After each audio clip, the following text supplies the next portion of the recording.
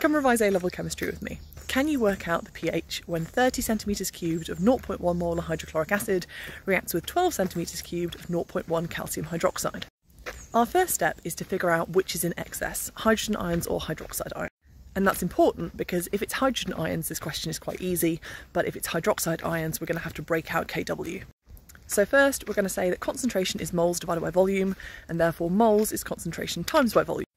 So our moles of hydrochloric acid is 0.003, and since it's a monoprotic acid, our moles of hydrogen ions is also 0.00.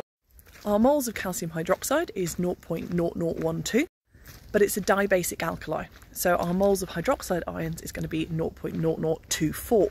If we subtract the two of those, then we have an excess of 0.0006 moles of hydrogen, which means we don't need to worry about Kw, we can just do a regular pH calculation. But I don't want the number of moles, I want the concentration of hydrogen ions. So I'm going to add together the volumes of my acid and my base to give me 0.042 decimeters cubed. And if I divide 0.0006 by 0.042, I get 0.01429 moles per decimeter cubed. So then to work out the pH, I'm just going to do negative log base 10 and get an answer of 1.85.